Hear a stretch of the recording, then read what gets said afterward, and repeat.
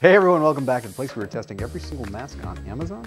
And today we are looking at the KN95 Buggy Bop? Buggy, Buggy Bop? I didn't even see that on there. Oh, Buggy Bop. Buggy Bop. Let's Buggy Bop over to, that's not a verb, uh, the box, open this up and get it in the clamper and then we'll kind of figure out what's going on. This is neat. Ah, individually packaged. Buggy Bop, guys. You, you're killing the game. Um, oh, come on. Uh, for those frequent viewers of the channel, already know what I'm freaking out about. Um, we only want good clamps.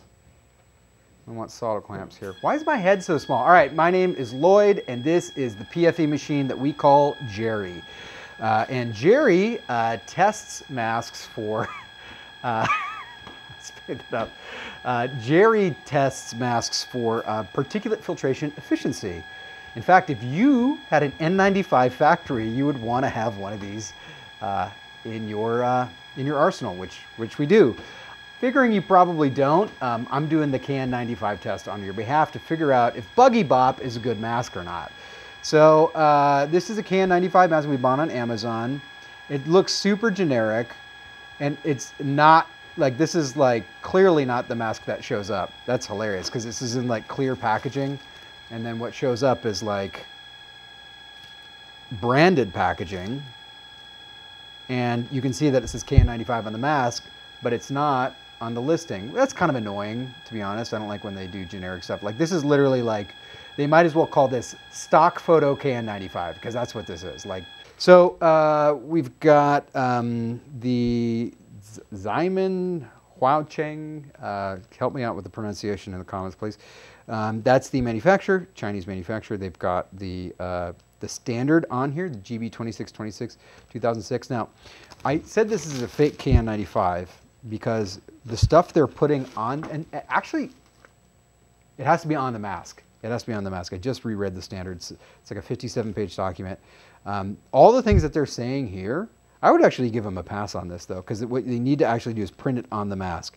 But they're doing it individual packaging, so I feel like it's almost as good. Let's try out the, uh, the mask here, look at its quality. Yeah, that's not great. Yeah, that's not great.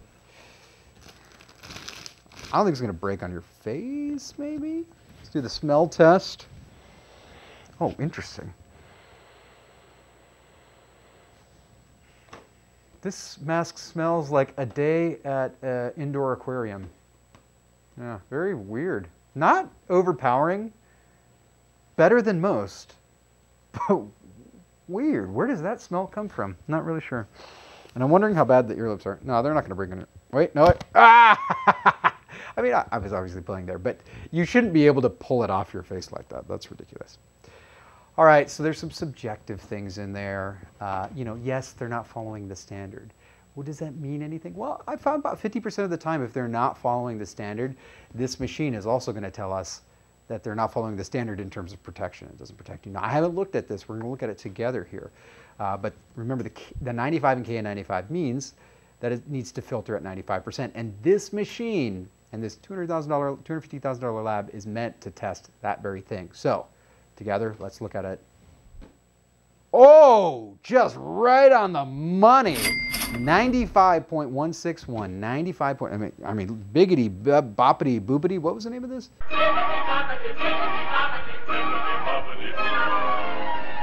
Buggy Bop. Um, okay, I see you.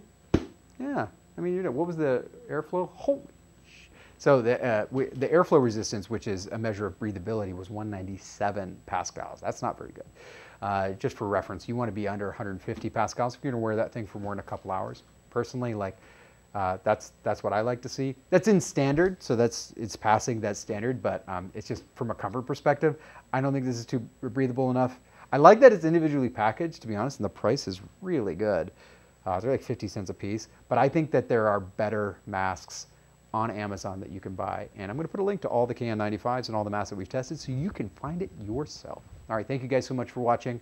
Uh, I've appreciated you looking at this. If this helped you, if you decided to buy Buggy Bop because of this video, maybe, maybe you'll like, if you want to.